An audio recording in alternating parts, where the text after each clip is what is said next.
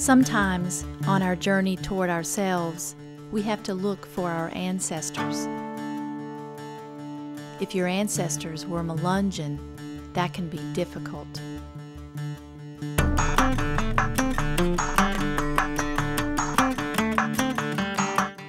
What do you tell people a Melungeon is? It, ta it takes a half hour just to explain what people think a Melungeon might be.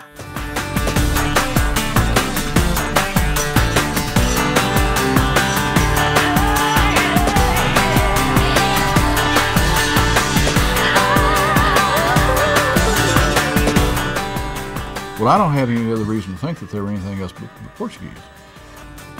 It's a cover story for African heritage.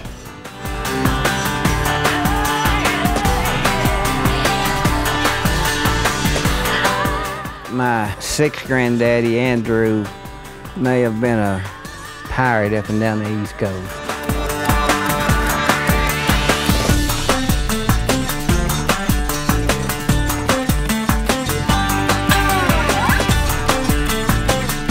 My mom always referred to herself as Black Dutch.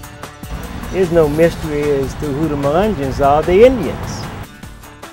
Uh, in some old tax records, you'll find them sometimes as free man of color.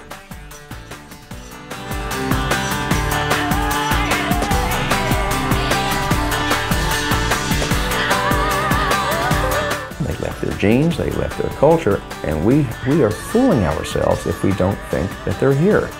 It's kind of like hearing a cry from the grave and then trying to decide whether or not to answer it.